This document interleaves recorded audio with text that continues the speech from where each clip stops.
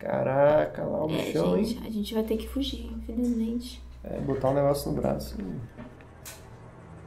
Não, muito legal as criaturas, muito bonitas e tal, mas. Precisa. Precisava. É, precisa, né? Nota zero, adorei.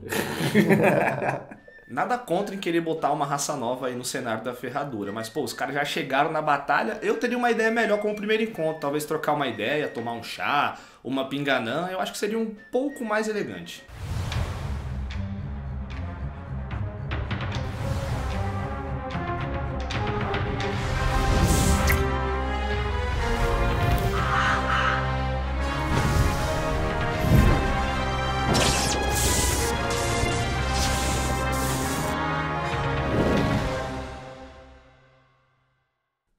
Qual é o nome que tá escrito ali? Vec. Vec. Vec soldado. Ah, esse é o soldado, agora tem o, o Monstrão. Vec pai. Olha o Vec bicho vindo. Nossa. Qual é o nome Senhora. dele ali, ó? Back Alpha. Vec Alpha. Caraca, chutei, era isso mesmo. Caraca. Pensei que você tivesse Ah, Parabéns, hein? É, quando eles aparecem, a Francesca olha pra trás assim, aí ela vê eles aparecendo, a, a expressão dela muda. E ela, tipo, faz um. Conversa numa língua que vocês não entendem. E aí esse Não é grandão. abissal. Não tô ouvindo aqui. Não é abissal. E esse, e esse grandão aqui olha diretamente de cima pra baixo, assim, pra, pra Francesca, assim, e faz um. será que é o chefe? O grandão? Ou ela? Tamanho não é documento. Kiara. Prova que do tamanho do documento, cara. Vai. Beleza. Eu vi esse bichão fazer o seguinte. Respirar fundo, bater no peito. É. Second Wind, vou recuperar a vida. 3 mais 8, 11. Recuperei um pouco de vida com ação bônus. Ainda vou atacar. Eu vou atacar. Os ataques Sim. Eu vou atacar a Francesca. Normal mesmo. Porque a vida é dura. É isso mesmo. E eu vou com. Vou com sharpshooter, que, é, que não arrisca não petisca. Exatamente. Isso é pra arrepiar, arrepia. 15 mais 5, 20. Acertou. 3 mais 16. 19. 19. Então, mais um ataque, sharpshooter, extra attack. Ai, 6 mais 5. Isso, a nela ainda também. Dela ainda também, 11. Errou. Mas ela já está avariada. Ótimo. Eu vou então. Eu vou ficar no mesmo lugar. É isso aí. Depois da Kiara, são os Vegs. Eles se movimentam 40 feet, 8 quadrados. então 16 quadrados na direção da forja. Não, mentira, eles andam devagarzinho, eles andam é, 8 quadrados só. Detalhe, eles não estão correndo pra batalha, eles estão andando tipo assim, ameaçadoramente. Ótimo. E os olhos deles é, estão completamente vermelhos, mas eles também têm a mesma feição da Francesca, de que eles não estão em frenesi. É como se eles estivessem em êxtase, não em frenesi.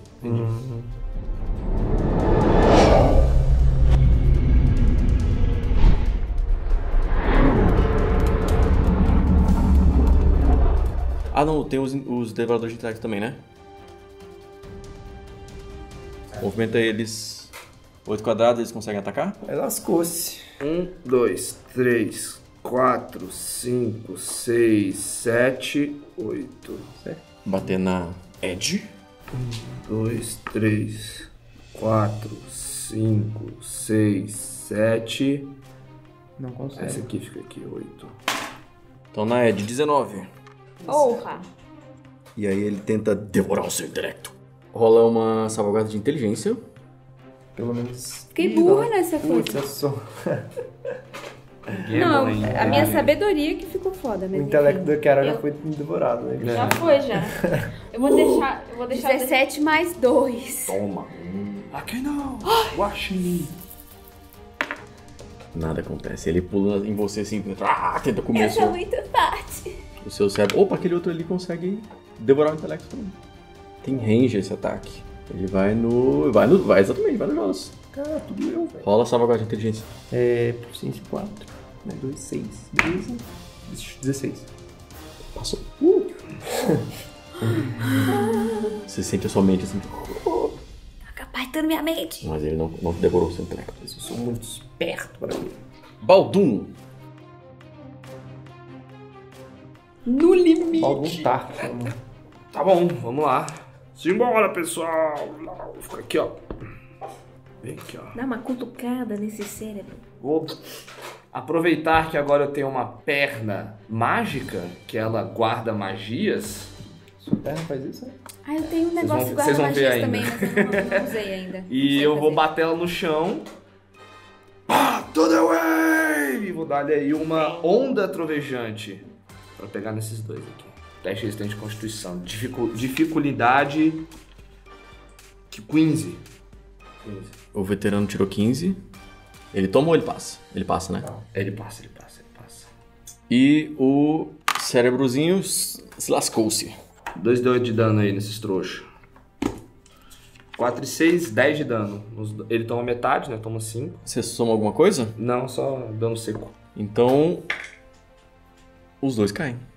É, O cara já tava frito, né, velho? Coleciona, levantou. coleciona. É verdade. Ele não volta fuga, ele volta com. Capan, capenga assim. É, ele voltou, já tava todo E carcomido. vai ser legal. A minha alma espiritual ignora, né? Então, um, dois, três, quatro. Vai rolar um embate aqui. Vai rolar um embate Os aqui. pokémons brigando. E aí, vocês escutam uma voz. Vocês reconhecem a voz do Morganilo. Assim, assim que terminar isso aí, Baldum, use aquela magia de novo e eu vou tirar vocês daqui. Vocês escutam do meio de vocês. Que magia de novo. A névoa. Ah, tá. Ah, tá. Boa sorte, Jonas. aí agora é o Jonas. É. Ele já tá com a manopla aberta, assim, pra você botar o braço. Tá incandescente. Ah, eu sabia que não ia ser fácil. Eu sabia que ia ter alguma pegadinha. Vou falar pro Baldum. Baldum, segura aí! É Virar pra ela. Vamos! Arregaçar a manga. Pá! Deitar no. Deitar na, na lava viva aí do, do- da manopla incandescente. Vamos ver se você não desacorda pelo dano. 8 de dano. Não tem que. Você não falou que eu ia ter que rolar uns testes? Sim, mas você tá propositalmente Ah, tá, tá, colocando. Não, aí agora você vai rolar o teste. Entendi. Constituição, ai meu Deus. 14. Total? É 3 mais 1, 14. Aí você vê a Astrid botando. Você botando o braço, subindo aquele cheiro de carne queimada, assim, ela botando a parte de cima. E aí você vê que ela também tá, tá tipo assim, tá fazendo as pressas. Então, em alguns momentos, ela tá com uma luva de proteção, mas ela pega na, na parada incandescente e também queima a mão dela. Ela bota o, o primeiro o primeiro parafusinho assim, pá, e bate no seu turno, bota o segundo, pá, bate no seu turno, vai fechando a manopla em você. Logo em seguida é o turno dela, coincidentemente, nas iniciativas. Ela pá, barra martelo o segundo, pá, martelo o terceiro. O, o quarto. Aí ela fala, terminei por aqui! Aí ela passa a mão assim na, na cabeça, a luva dela toda queimada. Eu tenho que dar um dano nela também. Terminei por aqui. Ah! Ela Segurou terminou? na mão, assim, carne viva, Ela assim, terminou? passou Terminou. a mão. Terminou? A Francesca olha pro, pro Alpha, o Alpha tá com aquele olhar de, de- julgando assim a Francesca, só que, tipo, isso não tá funcionando. Aí ela, meio desesperada assim, ela, ao meu comando! E aí ela aponta, agora! E aí sai uma saraivada de flechas. Todos vocês rolam uma salvaguarda de destreza. Essa aí é comigo mesmo. É aí que eu falho. Dois. Cara, não, velho. Dois. 9. 6 mais 3, 9. Não? 2 mais 9, 11. 14 menos 1, 13. 11 mais 8, 19. Passou. 13 de dano. Perfurante. Eu tomo só metade porque eu tenho evasão. Você viu as flechas vindo em câmera lenta assim, você só. Eu tomo uns, uns raspão, assim. E o restante. Tomaram, né? Nossa, já pega umas na manopla. Tomamos, né? Usou Piu, uma piu. Não, não, pô. Vai que, vai que isso explode. Exatamente, uma flecha, né? É.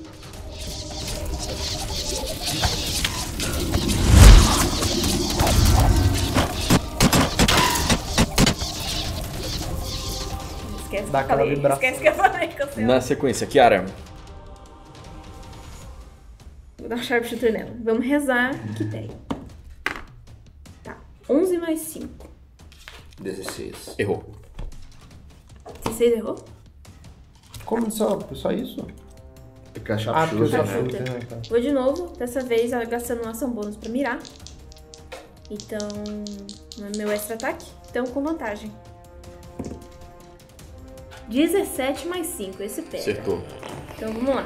Tá na hora da 1 morte. deu 8, mais 2 de sneak, Mais mais 16. números. Vamos lá. Toma. 6, ai, 8, mais 16. 24. 24 de dano. Chaclaclau. Ai. É, ela, a Francesca, tá tipo assim. Aff, velho. Queria ter matado ela. Saco. Baldum. Não, Ed. O Morgan fala: Pessoal, assim que o Baldum usar, corram pro meu- na minha direção. Vocês escutam a voz mais ou menos ali onde tá a Kiara. Quando eu ouço isso, eu vou preparar um chuva de adagas pra caso a gente não consiga ter algum inimigo perto que alcance a gente enquanto ele tô esperando pra ver se o, se o Baldum vai, se a gente vai conseguir fugir. Ok, então, preparado. Lembrando que quando o mago prepara uma magia, você gasta ela já. Mesmo que não. Sim, sim. Ah, é. É, Baldum. É isso, né, guys? Vambora. Guys. Vou pegar aí a minha névoa obscurecente, mas eu vou castar ela de nível 4. Que pra cada nível que eu aumento ela, aumenta 6 metros. Tampar a praça inteira. É. Só que aí dessa vez eu não vou ser tão burrinho assim. Eu vou usar pra, tipo, a neblina pegar daqui. Ou um pouquinho daqui assim. Pra lá. Entendeu? A gente fica com a visão fora e eu já vou. Toma aí na tua cara, seus poluidores! Tá bom. Na hora que você usa isso, o, o Morgan aparece atrás de vocês e fala: Por aqui! Tem uma tampa de bueiro bem ali, embaixo do livro do jogador. Eita. Olha só, né, que é verdade. Estava tudo planejado o tempo todo. Esse mestre é um danado. Vocês entram dentro do, do bueiro rapidamente. O Morgan parece ser bem ágil ali na, na- em levantar o bueiro. Vocês vão descendo, descendo. Enquanto a névoa ainda tá ali, ainda conseguem ver de rabo de olho os Vex chegando em cima da, da forja. E aí de dentro da neblina sai o, o Vec Alpha, assim. E aí com essa garrinha dele assim, ele pega a cabeça da, da Francesca. assim. Imaginei que isso fosse acontecer. A gente vê isso, né? Vocês veem isso de cantinho assim, dentro do bueiro, assim. Pelo menos ela morreu, né? Já vou descendo perguntando pra galera, ou pra Astrid, assim, quem diabos eram esses bichos, essas pessoas? Como que eu vou saber?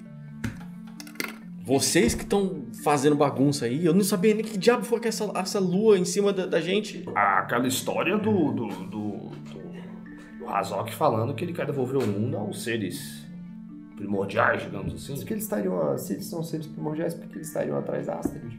Ah, eu não sei, meu amigo. Mas esses são os seres pri- primordiais? Não, Não parece. Eu tava achando que era aquele minhocão que vocês estavam descrevendo, gigantão. Ah, mas ele é o chefão da raça. Então, não, o é minhocão chefe. tá na lua. A a Francisca tinha cabeça de Lula. Isso pra mim parece mais um ser primordial do que esses bichos aí. Os Vex são seres criados dentro de uma pressão atmosférica muito maior lá do plano astral. Eles são seres das profundezas. Isso faz com que eles tenham desenvolvido naturalmente carapaças duras para aguentar tudo isso. Cara, é nesse gente joguinha, assim, né? Isso, dentro É. do esgoto. a questão é o seguinte: a gente conseguiu fazer a primeira parte da parada, né? Que é conter a explosão. Deu, deu certo, Astrid? Eu não, como é que eu vou saber? Eu fiz o meu melhor. Você olha a manopla agora tá esfriando, tem vários detalhes com os engastes mágicos. Ela é uma ferreira lendária. Então, tipo, algumas pedras mágicas assim, tipo, selando o, o seu poder. E você sente aquela sensação que você tinha que o braço explodir a qualquer momento, ela passou. Mas tem os dedos hora. articulados, assim? Sim. É como se você estivesse usando uma armadura, sabe? Tá. Ela nem limita o seu movimento nem nada não. Vocês vão acompanhando o Morgan e a Astrid pelos esgotos. Chega um determinado momento que entre uma encruzilhada e outra, o, o Morgan fala, pera, aqui. E aí ele olha pra cima assim e tipo arranca um pedaço de rocha falsa assim. E aí tem uma escada escondidaça. Aí ele começa a subir. Vai por aqui. Vocês vão atrás e eventualmente ele tira um fundo falso de uma casinha que parece ser um esconderijo pré-montado pela mão lamacenta. Ok. Aí a Astrid entra também. Vamos pra lá. Não é pra lá.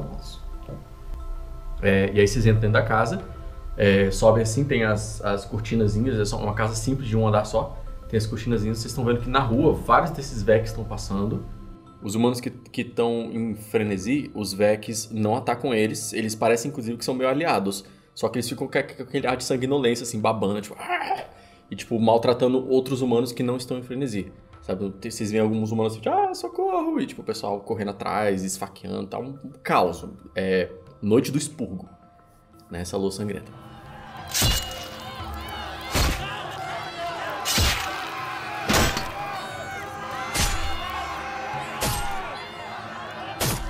Aí o Morgan tá segurando a, a cortina assim, aí ele fecha, a fecha a cortina ele. "Ah, Bom, pelo menos aqui é um lugar seguro pra vocês fazerem um descanso. A gente não vai conseguir ir pra Ordem da Lotus daqui, nem para pro refúgio da Mão Lamacenta. Descanse o tempo que vocês conseguirem e a gente conversa. Você sabe o que tá acontecendo, mano? De onde saíram esses. Diabo. Eu acho que isso é uma coisa nova pra todo mundo. Imagino que tem alguma coisa a ver com essa lua. Eu não tenho a menor ideia. Eu tô tentando contactar o pessoal da Ordem da Lotus, mas eles parecem que estão igualmente é, ocupados. É, ataques simultâneos foram reportados em todas as cidades de Paretian e acredito eu que de outros lugares da ferradura também. Nesse meio tempo, a Astrid tá tirando o avental dela, as ferramentas pesadas assim, e tá sentando e respirando. Eu não tenho mais idade pra isso. Eu também não. Ai, meu Deus. É, Astrid, eu não sei como é que a gente pode agradecer o que você fez aqui pela gente. Você Acho que por todo mundo, né? consegue curar ela? Consigo dar uma é cura, um uma restauração né? menor. Eu vou gastar o resto dos meus slots de magia em cima disso aí, curando. Ela tomou mais da metade da vida. Se quiser dar quiser. prioridade pra Então ela, vou que ela é sair. uma. Curando. Vou distribuir cura na galera e fazer um prayer of healing, pronto. O Morgan também vai usando. Não, guarde. Não se preocupe, eu vou fazendo isso. E ele mesmo vai curando vocês com os slots de magia dele, ele não participou da batalha. E é isso, gente. Eu, eu vou nem ficar rodando os slots aqui. Vocês podem recuperar todos os pontos de vida. Tá Tá? Além disso, essa casa é relativamente protegida. É, realmente é um refúgio. Então vocês agora têm um descanso longo, seis horinhas. A noite é bem desagradável, porque o tempo todo vocês são acordados por algum grito, alguém passando correndo gritando, "Ah!", um frenesi, gritos desesperados. E não é bom dormir escutando essas coisas. Ainda assim, vocês conseguem fazer um descanso. E aí, a lua sangrenta se encerra. Ela se encerra? Não. Chega a lua fica de, fica de manhã. Não, não, entendi, entendi. Mas é, eu entendi. Assim, na verdade, lá para umas quatro da, da manhã, a lua sangrenta vai embora e fica só a lua normal. Primeira coisa que acontece é, vocês sentem que a magia do mundo esvaziou um pouquinho mais. Então, retorne para o nível 10. E lá vamos nós. E lá vamos nós. E lá vamos nós. E lá vamos nós. E lá se vai o meu como. Quando vocês acordam, no raiar do sol, os barulhos da cidade mudam. São barulhos mais de, tipo, gente recolhendo os feridos, tipo, vendo que diabo é está acontecendo, umas pessoas meio perdidas vagando na rua, sem saber o que aconteceu na noite passada. E aí vocês veem também, momentos antes, os Vec abandonando as ruas, tipo assim, varrendo a rua de volta para outro canto. Eles acharam muita destruição no caminho, muita gente morreu nessa lua sangrenta, mas os Vec parece que estão indo embora. E aí vocês escutam um remeter.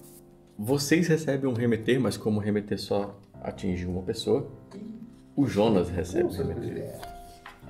De uma voz de um conhecido. Eol. Caralho. Ih, caceta! Rapaz.